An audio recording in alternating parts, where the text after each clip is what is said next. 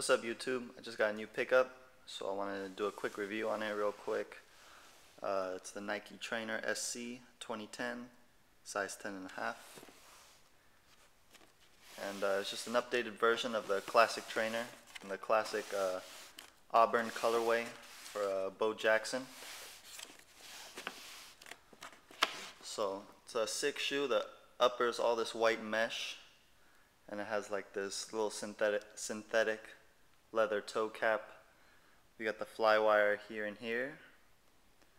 And uh, this is like a, uh, it's like a plasticky feeling gray swoosh with a purple outline. Oh, and then the fly wire, it's uh, orange with the purple fly wire. With the synthetic leather eyelets, purple eyelets right there. It's got white laces and a patent leather tongue Nike in purple. And then it has this gray that wraps around the shoe. Nike in the back with a 1990, 2010 in purple, like a little timeline. Back of the tongue is purple. It says Trainer SC. It says engineered to the exact specifications of championship athletes. It says Nike training orange insole with a white Nike swoosh. Got a purple visible air unit right there. There's the sole. Got the Diamond Flex technology right there. And uh, that's pretty much the shoe. Uh, I think I'm going to be wearing these to the gym.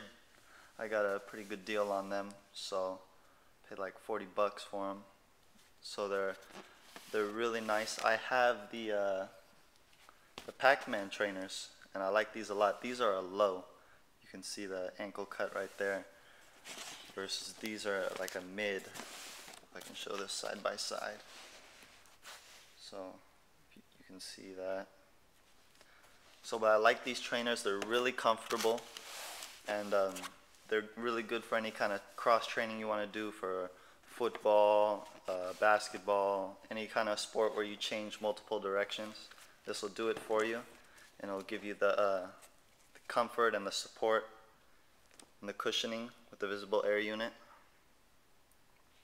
And again, it has that diamond flex for uh, when you change directions. Good traction.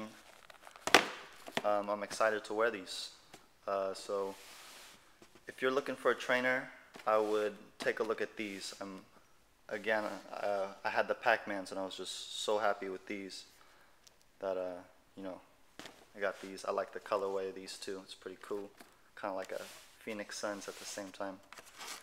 But uh, yeah, leave me a comment. Let me know what you think. Make sure to subscribe.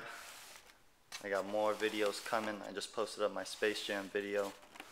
So uh, yeah, check out my other videos if you haven't. Alright, thanks for watching. Peace.